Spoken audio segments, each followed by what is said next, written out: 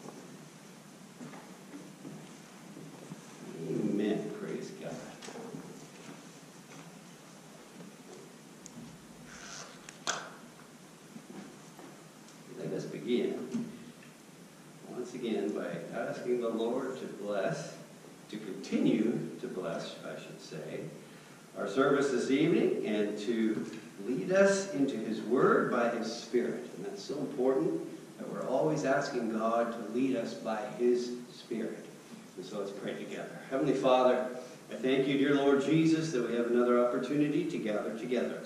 And Father, we've come into your house to worship you. We've come, dear Lord Jesus, to lift up your name in song and in praise and choruses. And we thank you, dear Lord Jesus, that we have voice to do so, an opportunity to do that.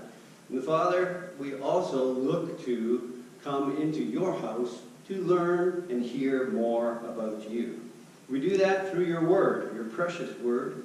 And we know, dear Lord God, that while it is written on paper and is contained within a book, that, dear Lord Jesus, your word is alive.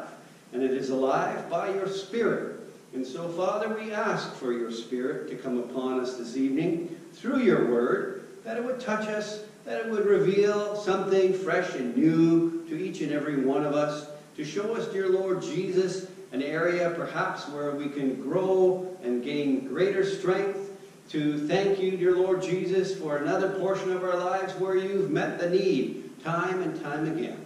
I know, dear Lord, that you speak to each individual by your word, through your Spirit, in different ways, and that different portions of Scripture touch each and every one of us at different times in our lives. But regardless of how you touch us, or what portion of Scripture meets us this evening, we ask, dear Lord God, that we be fed at your table that you have prepared. And we thank you and praise you for all the food that you have in your word. In Jesus' name, amen. Praise the Lord. This evening, um, we want to give thanks and praise to God for the reality that is Him. Now, what I mean by that is that really the world, those that do not know the Lord as their Savior, they in fact spend all of their time being led by Satan, trying to um, receive, trying to grasp the things that God has given to his children. And what they end up with is imitation, something that is not real. And what God's people have uh, at our disposal that we can always access if we're willing to is the reality of what God is willing to give to all people, but once we're saved, we're of course His children. Let me give you an example of what I mean. The world speaks of peace. Now we understand that, and we know that the peace that the world talks about is something that comes about when a group of people sit down and they negotiate and they come to some agreement. They write it down on a piece of paper um, or they put it in some kind of a document. They sign it and somehow that's supposed to make all of the problems go away, all of the conflict that was there, all of the hatred that came about as a result of that conflict, the trials, the tests. Suddenly, because two individuals, or three, or however many, put their name on a piece of paper that says peace, the world thinks that that's going to give them peace. Now, history shows us that just doesn't work. It didn't work in biblical times when natural flesh tried to uh, come up with a, some kind of peace agreement. And it doesn't work in our day and age today. Because the things that man puts together on his own are really always imitations of what God has for his people in truth. So, if I continue with that example, when God gives us peace, it's a completely different thing, if I use that word, a completely different gift, because the peace that God gives isn't something that man can take away. It's not written on a piece of paper. It's not something that just sort of glosses over the pain or the hurt there's re uh, restitution involved in peace. There's forgiveness involved in peace. There's love. And there's kindness. There are all kinds of different aspects of God that are part of the true peace that God gives to his people. I'm not going to speak on peace this evening, but I'm going to speak on another one of these um, attributes, uh, these feelings, really, that the world is constantly trying to achieve, and that's joy. Tonight I want to touch on joy as we see it in the scripture so that we understand that the joy that the Bible speaks of, the joy that God's people have within them and can demonstrate to the world, is not anywhere near the same joy that the world thinks they have. Because, fundamentally, real joy can only come from God. And if it's not coming from God, then there's only one other source that it can come from. And anything that comes from Satan is a lie. Anything that comes from the devil is, is, is an imitation. It's not real. But Satan knows that the things of God are great and much to be desired. And so what Satan tries to do is create a likeness. He tries to uh, come up with something that is as close as possible to what God can give, but without the reality, without the longevity. Let me put that in there as well. So, in the scripture, the first thing that we have to recognize and all agree upon is that real joy is a gift from God. Galatians chapter 5, verse 22, where it speaks about the fruit of the Spirit. Okay? So anything that is a fruit of anything else, so if I talk about the fruit of the apple tree, is going to be an apple.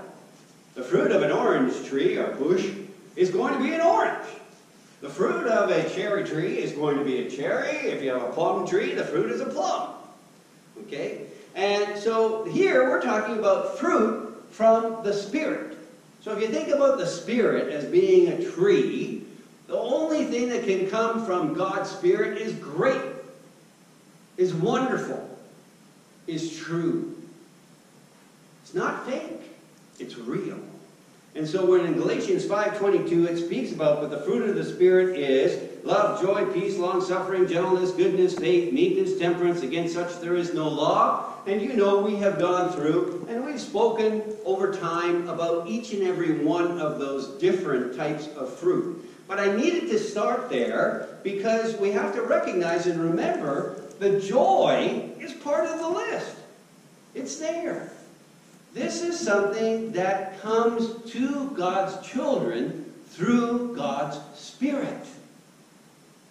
And so, the first place that we have to go when we are seeking joy, and so when I speak of that from now on, I'm talking about the real thing, okay? Not the fake, but the real thing. Our source always has to be God. And because that source is God, we need to connect to Him. We need to have a relationship with Him. We need to have communion, fellowship with God's Spirit. Because joy only comes through the Spirit of the Lord. That's bad news for people who are not Christians. Because what that means is that they will seek and they will search and they will try this and they will buy that and they will do this thing or the other thing or whatever. And anything that they can come up with that might seem to be joyous to them is never going to last. Because it's always something that comes from the flesh. And it's something that the flesh experiences. And in case you haven't noticed, our flesh is full of fault and failure. It lets us down over and over and over again. And in the same way, then, we have to understand anything that the flesh creates, you know, a building, a chair, your clothing, your house, a car, guess what? It's never going to last forever. It doesn't matter what you do. Because none of us really can comprehend what forever means, first of all. So it might last 100 years, 1,000 years, 10,000 years. Could it last a million years? Like, I mean, you know, you could put whatever number you want there, but as soon as you put a number there, it's not forever. And so when we try to achieve joy in the flesh, how do we do that? Well, we buy something and we say, well, that makes me happy. I'm full of joy. We go somewhere. Oh, I'm so happy that I'm here. I'm full of joy. We do something, we experience something, and that, we say, gives us joy. But in case you haven't noticed, that joy tends not to last. Whereas as God's people, because joy comes as part of the fruit of the Spirit, and because God is the Spirit, and God is eternal, then anything that comes from the Lord is everlasting. Now, that's not to say that we can't lose God's joy, but the only way that we do that is if we turn God away. Okay? So, as long as we abide in Him and He in us, I believe we can have all of these gifts, and in particular joy, that the world just cannot understand. Just like the peace. Okay? Because the world looks at it in a natural way, and Scripture shows us that it is something completely different. Matthew chapter 25, as I was thinking about this particular word, which is not a real big, long word in any way sense, uh, in any way whatsoever, I, I was, uh, I was drawn to this parable where Jesus is speaking about the kingdom of heaven. Now, I'm not going to read the entire thing. We, there are multiple examples here. Jesus speaks about the wise and foolish virgins, and then starting at verse 14 in Matthew chapter 25, he starts to talk about, right, the kingdom of heaven is as a man traveling into a far country, and then we know he gives his servants different talents, different portions, and then he comes back to collect on those things. And those that did what they were supposed to do with the talents that were given, um, they are invited. And, you know, as I read then verse 21, for example, says, His Lord said unto him, Well done, thou good and faithful servant. Thou hast been faithful over a few things. I will make thee ruler over many things. And it's this next phrase that's interesting. Enter thou into the joy of thy Lord. Now, I don't know about you, but when I read that, and I've always assumed, and I believe I'm assuming correctly, when the master says, Enter thou into the joy of thy Lord, or now we know this is God then who's speaking to the saved, when they say to you, when the Lord says to you, and I pray that he will, and when the Lord says to me, and the same, I pray that he will, enter thou into the joy of the Lord. I'm thinking about heaven. I'm thinking God is inviting me into heaven. And I believe I'm correct.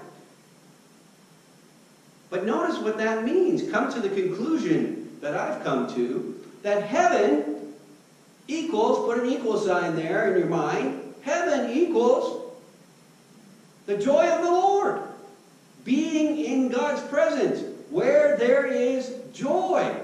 Or as it says there, enter into the joy of thy Lord. See, heaven, this chorus says, is a wonderful place, right? Is a beautiful place. Filled with, and then when we go on and we talk about heaven, there is nothing there that describes heaven that I see as a negative. They are all elements, parts, descriptors of things that are going to bring us, among many different emotions and many different feelings, the feeling of joy. Because heaven is where God is. And God, being a spirit, and his Holy Spirit gives us, what did we read? As part of the fruit? Joy. So when the when Jesus describes heaven as a place that you can enter into, and so we have that image, right? Entering through the gates and coming before the Lord and entering into his city. The Bible talks about the city. All of these different descriptors. It's a place that we can go into. You see, when I started looking at this idea of joy, and if you, you take a moment and you say, well, what is joy? You know, is, is this joy? This thing? Wait a minute, no, that's not joy. How about this? Is this joy? Well, the first thing we have to say is joy is not something that you can sort of pick up and see. There are things that in the natural we say could give us joy. So if you're really hungry, and so my mind suddenly thought about pizza. So if I think about a pizza, the pizza can give me joy. It fulfills me. It makes me feel good. I feel, you know, complete in a sense. All right? But just like the world's joy, the pizza's gone, and eventually I'm hungry again. That joy doesn't last. But my point here is that there is nothing that you can put a finger on that you can really say, this is joy. All right? What we're talking about is a feeling. And feelings are sort of like the wind in the air, right? It's something inside our mind. It's, it's something we experience. And if I, I looked it up and it says joy, a feeling of great pleasure and happiness. And then I thought, well, wait a minute. If it's a feeling, what's a feeling? Is a feeling something that you can purchase? No. A feeling is an emotional state or reaction or a belief. A feeling is an emotional state or reaction or a belief. You see, when we receive and when we accept the joy of the Lord, the only way we can do that is believing in the Lord. And then God says, and Jesus describes this thing that I can't put my hand on, joy, as being a place that I can go into. And that place is God's presence. And because it is God's presence, then as God's people, we can have the joy of the Lord right here. If God is in our presence or we are in His. See, this is the blessing that we have as God's people. I don't have to wait until I get to heaven to have the joy of the Lord. But I do have to be in God's presence to have that joy. And so I, I, I want you to see, and I've, I've talked about this before, how Scripture is so linked together. How we can sing a chorus one Sunday, whatever it happens to be, right? And we can sing, In His presence, in His presence, there is, and then the chorus goes on, right? But all of these things that when we link this all together, what we see is, is the Word of God is over and over and over supporting itself. It's showing us how all of these things fit together. So being in God's presence is critical. And having the Spirit of the Lord is vital. And by having those things, then we can have the joy of the Lord with us here, not just in heaven. And that's important because the Bible then tells us that even in temptation, even in trial, even in test, we can have joy. Obviously, the Bible's talking about something that is not the natural kind of joy that the world has. It's got to be something bigger and better. And it is. And as God's people, we have access to that, and that's important. In John chapter 16, we see further uh, clarification or a little bit more uh, explanation, if you want to put it that way. John 16, and Jesus is speaking here again, and I'm in verse 22. John 16, verse 22. And Jesus said, And ye now therefore have sorrow, but I will see you again, and your heart shall rejoice, and your joy no man taketh from you. Once again, you see how, I hope you can see how that scripture is linking joy to Jesus' presence. And as I sort of meditated on that a little bit, when Jesus is speaking here, I guarantee you, if you are one of God's children, there will come a time when you will see the Lord again. And I'm thinking, when I get to heaven, I'll see Jesus. That's his home, it's God's house. And he'll invite us in, just like that master that we read in Matthew told the servant, enter into the joy of thy Lord, or the Lord. You see, Jesus was saying the very same thing here in John when he suggests that right now you might have sorrow in the natural, but you'll see me again. Yes, I will. When the Lord comes to take me home. And home, my home is in heaven. And that's where God is. And God is all things good and great. And one of the gifts God gives us is joy. See, that's how I link it all together. It all builds one thing upon the other and supports the word that God has given. Romans 14 and verse 17, once again, provides us with another piece of support. And here, a differentiation, or making a difference, between the world and God's gifts. Because it says in verse 17 of, of Romans 14, For the kingdom of God is not meat and drink. You see, here again in Romans, we're making reference to the fact that the things that bring people joy, meat and drink. Right? People, oh, look at that amazing spread. And you go to your favorite restaurant, you go there because it's a favorite, because it makes you happy to go there. You enjoy being there. It brings you joy. But that's not God's kingdom. That's just a natural, sort of fleeting moment. And we're told that here. For the kingdom of God is not meat and drink, but what is the kingdom of God? But righteousness and peace, and look at here it is again, and joy in the Holy Ghost. In God's presence, in the Spirit. You see, things that are in the Spirit cannot be taken away from you or from me. No matter how hard the enemy tries. Right? They can take away all our natural possessions. They can take away our natural freedom. They can take even our lives. But they cannot take away what the Spirit of the Lord has placed inside us. These are the things that count.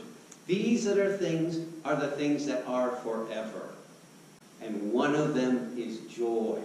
And this is why, when you read verses, and we're now jumping into the Old Testament as I close here, I have in Habakkuk chapter 3,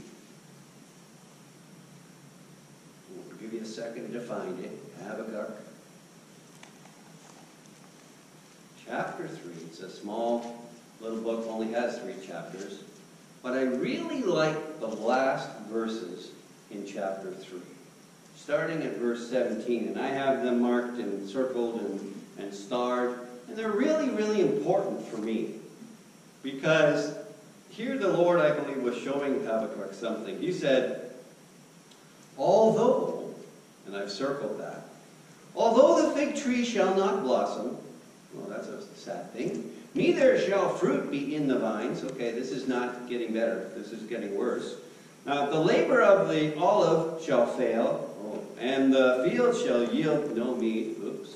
Uh, the flock shall be cut off from the fold, and there shall be no herd in the stalls. Yet. See, this little word yet is really important. You know, this is one that education was trying to jump on, and, and, uh, and really not a bad idea. But you need the Spirit of the Lord to make this real, because you can't do it without God's Spirit. You see, verse 17 is a, just an abysmal picture, right? I mean, if it's going wrong in the natural, verse 17 kind of has it covered. You know, and you can say, the world around us is just falling apart. I mean, we got changing climate, you know, and we got this problem, we got pollution, the air is polluted, the water's polluted, the ground is polluted. Everything is a mess. We got inflation, we got this, we got wars and rumors of wars, we have all kinds of natural disasters going on. Yet, and that's the big piece right there. Yet, what does it say? Yet I will rejoice. Oh, wait a minute. How is that possible? You must be faking it. You see, the devil would say to the world, to people without the Lord, the only way you can have joy is by having all these things. What the scripture says, all those things can disappear. But you can still have joy. And not some kind of fake thing. Yet I will rejoice in the Lord. I will joy in the God of my salvation. The Lord God is my strength. The joy of the Lord is my strength. And he will make my feet like hinds' feet. Okay? That means, to me, that's like a mountain goat. Sure-footed. Know if you've ever seen, I've seen, never seen in real life, but I've seen video. You know, and I mean, they're going up the slope and you look at that, there's like, how in the world can they jump up there and stand on that little rock? And then you look at their feet, and that makes it even more perplexing to me, because they just have these little hooves on the end of their feet. And you think, how in the world can they even feel what they're landing on, and yet they are so solid? Okay? And so Scripture is using that example. He will make my feet like hinds' feet. In other words, nothing's going to knock us down. And he will make me to walk upon my upon mine high places, and then it says to the chief singer, on my stringed instruments. All right, so uh, words of, of song, words of joy. But only if we can say, I will rejoice in the Lord. I will joy in the God of my salvation.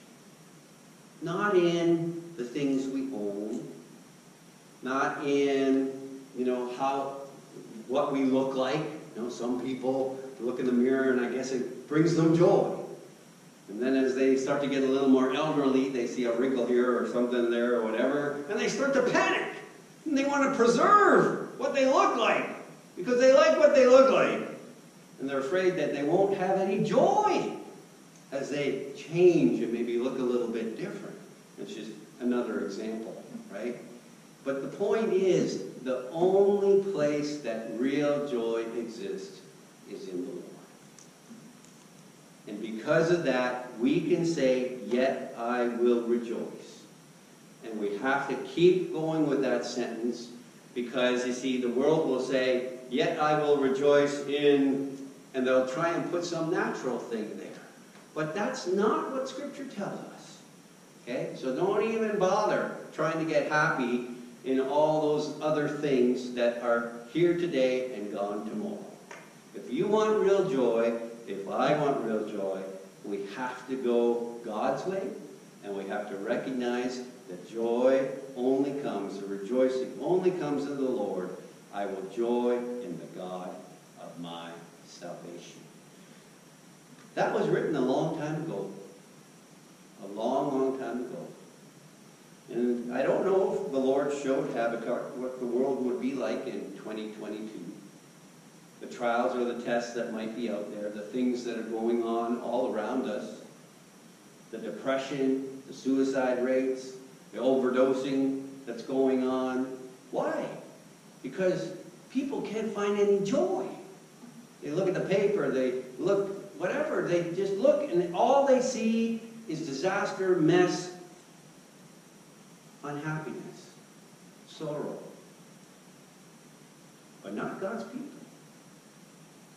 At least God's people shouldn't be looking at it the same way.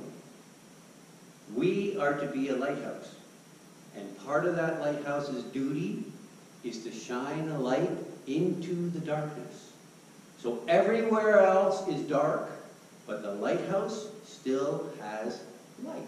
That's why we don't call it a dark house.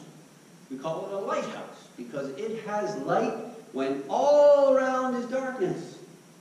And for God's people, though all around us people are gloomy and complaining and sad, and this isn't right and that isn't right, and I want more of this and more of that, and I don't want some of this and some of that, what are God's people to do? Let's shine real joy into that gloomy environment and recognize that the joy of the Lord is my strength. Now, we're not going to sing it again, but could you turn with me to the song we sang? Okay, just get a hymnal. I'm not going to, we're not going to sing it again, like I just said.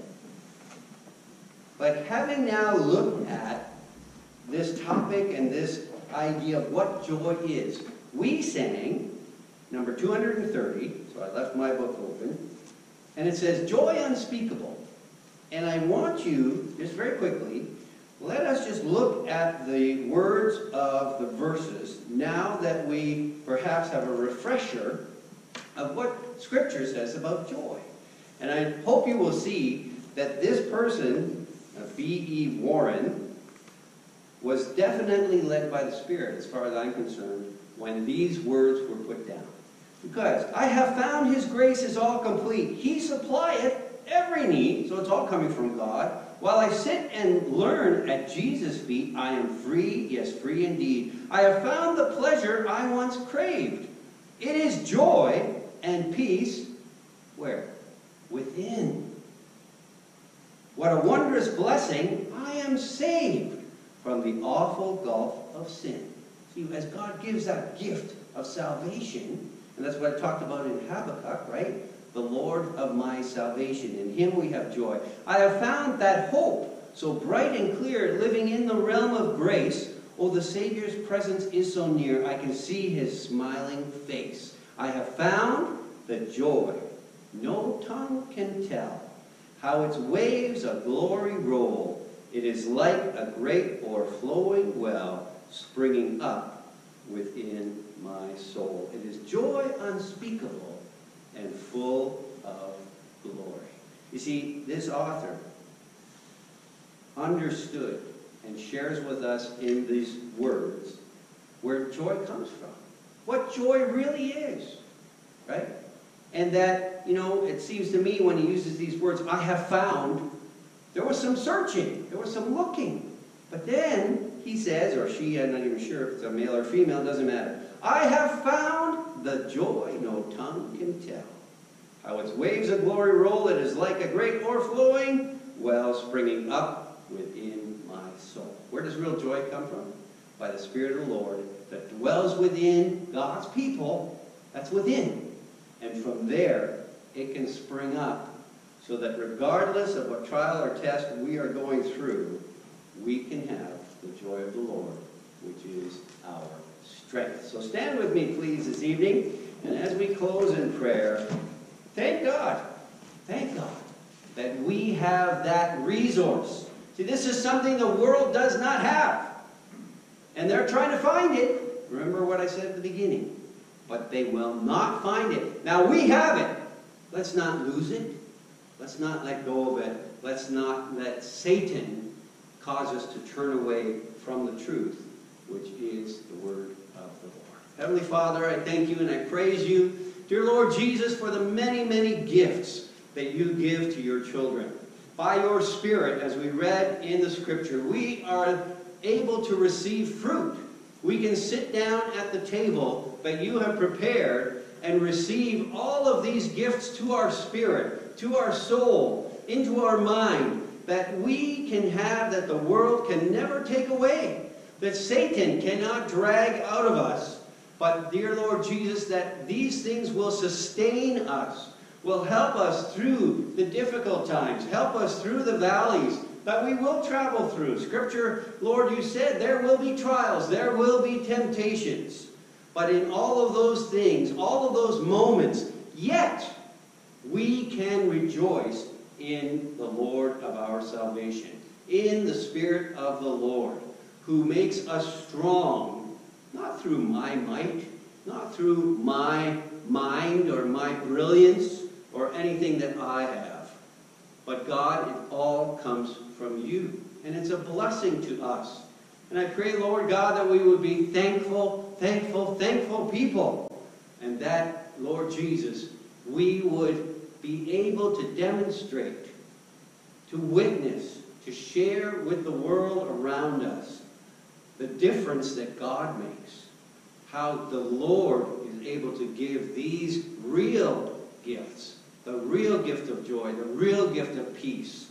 All of these things only coming from God. And may we, through our testimony, be able, dear Lord Jesus, to help others to come to know you as their Savior so that they can also experience the joy of the Lord and the blessing of having you dwell within them each and every day.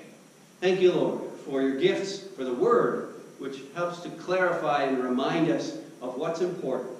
And as we pray for others and we bring to you our petitions, and perhaps, Lord, there's someone here tonight going through a valley, going through a test. I pray, dear Lord Jesus, that that spirit, that person, would understand and receive a, a fresh anointing, a special touch upon their body, soul, and spirit. That they will feel as they leave this place tonight that they are not weak, that they need not be sad, but, dear Lord God, that you have provided something that will help all of us and help them to overcome their current situation. For, Lord, we know that there is coming a day when we will see you face to face. And we pray, dear Lord Jesus, that by your grace and mercy and love, we will hear you say, Well done, thou good and faithful servant. Enter thou into the joy of thy Lord. I praise you and thank you in Jesus' name. Amen.